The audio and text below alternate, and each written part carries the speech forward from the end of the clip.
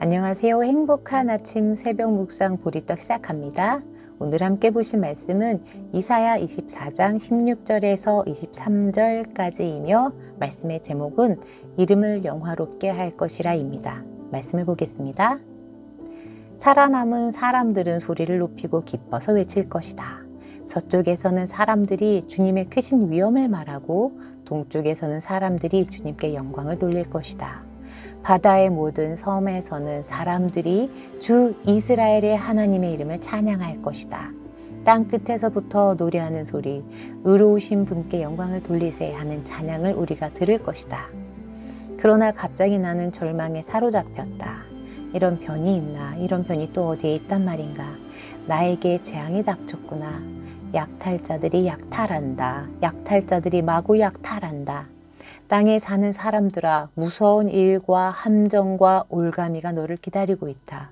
무서운 소리를 피하여 달아나는 사람은 함정에 빠지고 함정 속에서 기어 나온 사람은 올가미에 걸릴 것이다. 하늘의 홍수 문들이 열리고 땅의 기초가 흔들린다. 땅덩이가 여지없이 부스러지며 땅이 아주 갈라지고 땅이 몹시 흔들린다.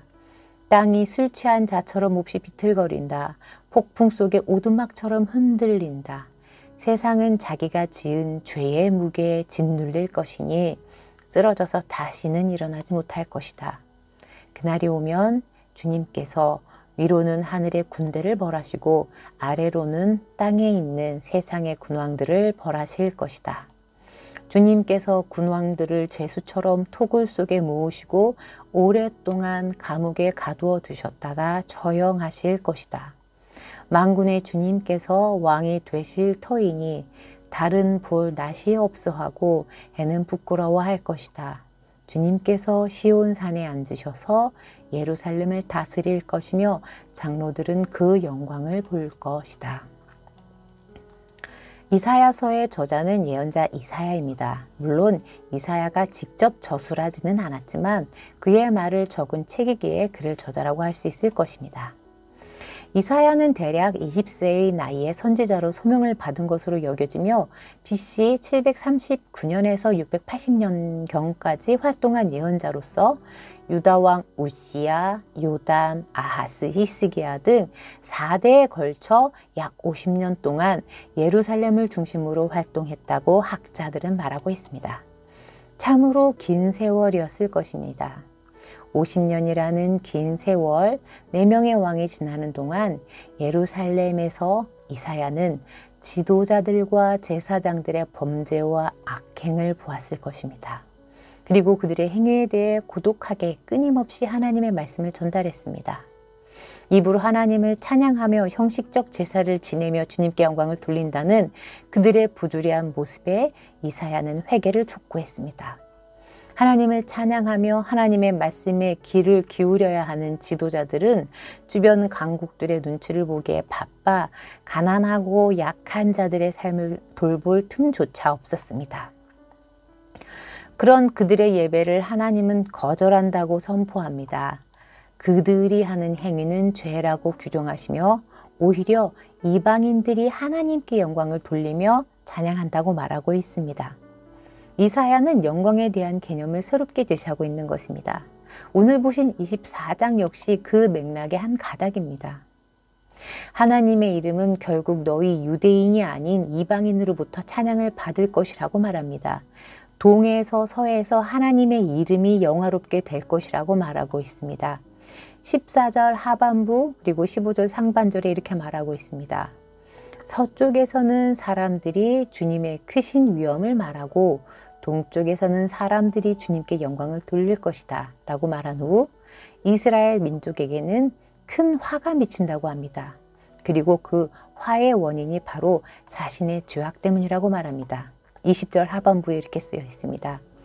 세상은 자기가 지은 죄의 무게에 짓눌릴 것이니 쓰러져서 다시는 일어나지 못할 것이다.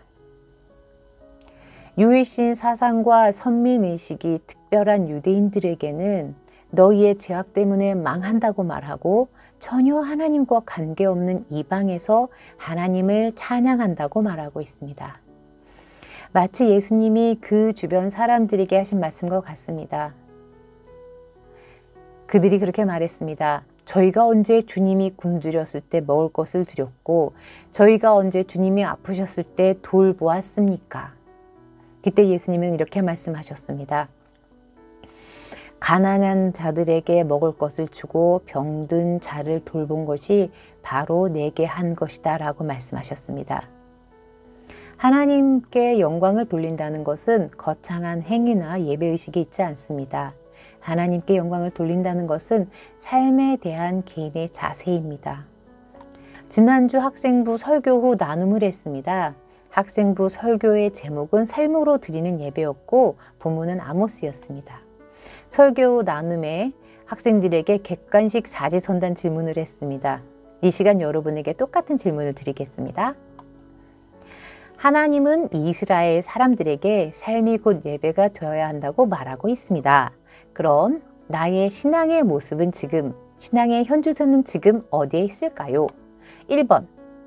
예배와 삶 모두에 정의와 사랑을 실천하고 있다. 2번.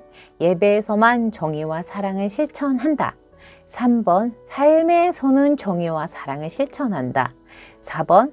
예배와 삶 어디에서도 정의와 사랑은 무관심하다. 여러분은 몇 번을 택하셨을까요? 학생들은 몇 번을 골랐을 것 같으세요? 저는 다 4번을 선택했습니다. 예배와 삶 어디에도 정의와 사랑은 무관심하다. 아, 순간 이 전도사로서 좌절을 맛보았습니다. 그런데 참 다행이다 싶었습니다. 그들의 의식은 깨어 있구나.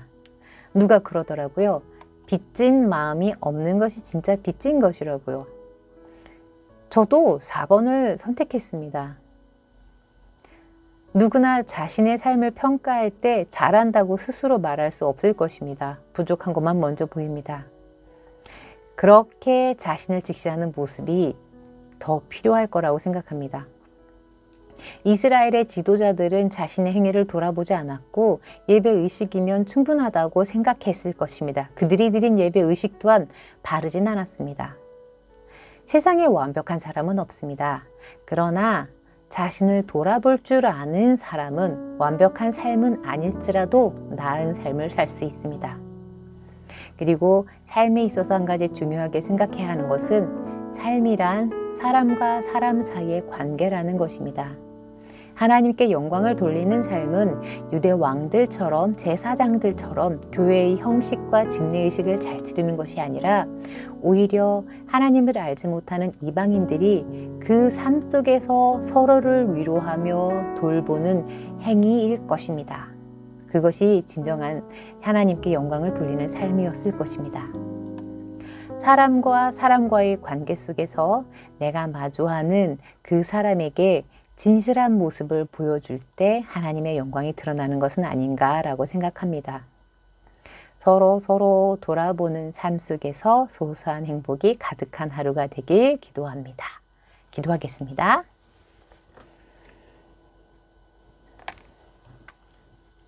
사랑의 하나님, 오늘 하루 삶 속에서 주님을 더욱 바라보게 하시고 참된 삶이 무엇인지 돌아보게 하시옵소서.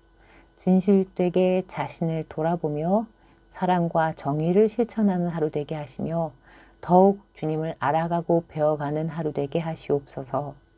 감사드리며 예수님의 이름으로 기도드립니다. 아멘.